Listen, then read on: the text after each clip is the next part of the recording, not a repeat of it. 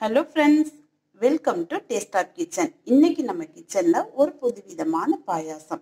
பரங்கிப்பழ பாயாசம் தாங்க காய்ச்ச போகிறோம் அது எப்படின்னு சொல்கிறேன் அதுக்கு முன்னாடி நம்ம சேனலை இதுவரையும் சப்ஸ்கிரைப் பண்ணாதவங்க சப்ஸ்கிரைப் பண்ணுங்க. கூடவே உள்ள பெல் ஐக்கானையும் கிளிக் பண்ணுங்கள் நான் போடுற வீடியோ உங்களுக்கு நோட்டிஃபிகேஷனாக வரும். வாங்க இது எப்படி செய்யலாம்னு வீடியோக்குள்ளே போகலாம் சின்ன குக்கர் ஒன்று எடுத்துக்கோங்க. அதில் நூறு பாசிப்பருப்பு நல்லா வறுத்து வச்சுருக்கேன். அதை இதில் சேர்த்துக்கலாம்.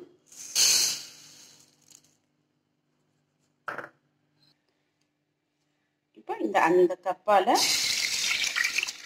ஒன்றரை கப்பு தண்ணி ஊற்றி நல்லா ஒரு ரெண்டு விசில் வச்சு எடுத்துக்குவோம். இப்போ ரெண்டு விசில் வரட்டும். வெயிட் பண்ணலாம். இப்போ நம்மளுடைய பருப்பு ரெண்டு விசிலுக்கு இந்த மாதிரி வெந்துருச்சு. ரொம்ப கொல கொலன்னு வேணாம். இந்த மாதிரி இருக்கட்டும். நம்ம வெட்டி வச்சிருக்க பரங்கி பழத்தை இதில் சேர்த்துக்கலாம். பரங்கி காயாக எடுத்துறதையே இந்த மாதிரி பழமாக இருக்கட்டும். இப்போ நம்ம இதையும் ஒரு விசில் வச்சு எடுத்துட்டு வந்துடலாம். இப்போ இதையும் ஒரு விசில் வச்சு எடுத்தாச்சு. இந்த மாதிரி கரைஞ்சிருக்கு. ரொம்ப குக்கர்லேயே கரைய வேணாம். நம்ம ஒரு விசில் வச்சு எடுத்துட்டு இப்போ இந்த மாதிரி மத்தி எடுத்து நம்ம வந்து லைட்டாக ரொம்ப கொல கொலன்னு கிழங்கு வேக வேணாம்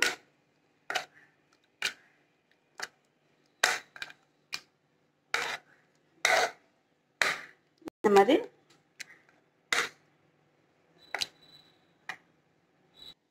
இந்த மாதிரி கடைஞ்சிக்கிட்டா போதும்.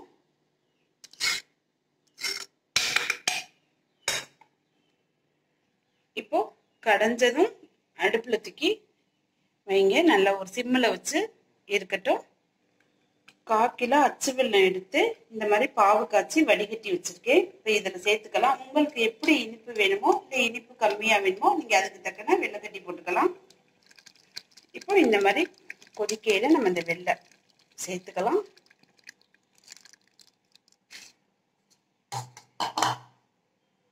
இப்போ வெள்ளைக்கட்டியை சேர்த்துட்டு உப்பு பார்த்துக்கோங்க ஏன்னா ஒவ்வொரு வெள்ளைக்கட்டியிலும் நல்ல உப்பு வந்து கரிக்கும்.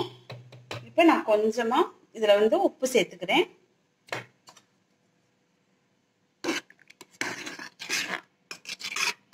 சிம்மிலே இருக்கட்டும். இப்போ ஒரு தேங்காய் எடுத்து இந்த மாதிரி கெட்டியாக பால் எடுத்து வச்சுருக்கேன். இந்த பாலையும் அதோட சேர்த்துடலாம். நீங்கள் பெரிய தேங்காய் இருந்தால் ஒரு மூடி எடுத்துக்கோங்க. ஒரு சின்ன தேங்காய் இருந்தால் ஒரு தேங்காய் எடுத்து இந்த மாதிரி கெட்டியாக பால் எடுத்து வச்சுக்கோங்க. இப்போ நம்ம இதில் வந்து சேர்த்தலாம். ரொம்ப தண்ணி தேங்காய் பால் வந்து ரொம்ப தண்ணி ஆக்கிடாதே கொஞ்சம் கெட்டியாகவே இருக்கட்டும். இப்போ நம்ம இதில் சேர்த்துடலாம்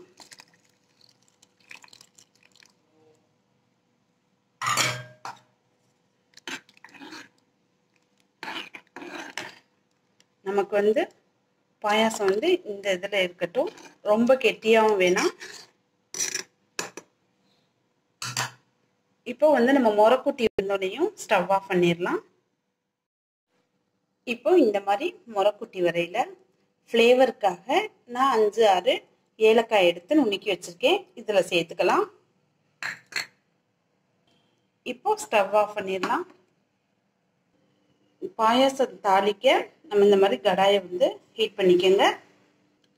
ஹீட் படுத்திக்கிட்டு நெய் ரெண்டு டேபிள் ஸ்பூன் நெய் சேர்த்துக்கலாம். நெய் நல்லா ஹீட் ஆகட்டும். இப்போ நெய் நல்லா ஹீட் ஆயிடுச்சு. பத்து பதினஞ்சு முந்திரி பருப்பு இதில் சேர்த்துக்கலாம். கிஸ்மிஸ் பழம் இருந்தாலும் நீங்கள் ஆட் பண்ணிக்கலாம். இதை நல்லா ப்ரௌன் கலரில் நல்லா நெய்யிலே வறுத்துக்கலாம்.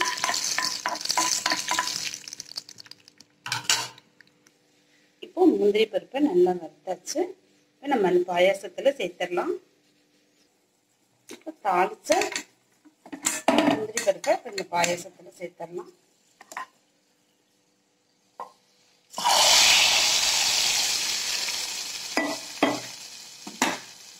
இப்போ டக்குன்னு ஒரு மூடி எடுத்து மூடிடலாம். இன்னும் நம்ம நெய்யோட மனம் போயிடும் திறந்துருந்தா. அதனால இது மூடிடலாம். அவ்வளோதான் ஃப்ரெண்ட்ஸ் நம்மளுடைய பரங்கிப்பழ பாயாசம் ரெடி ஆயிடுச்சு.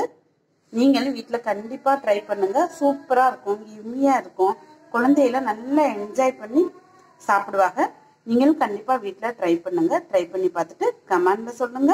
பிடிச்சிருந்தா லைக் பண்ணுங்க ஷேர் பண்ணுங்க. Okay friends thank you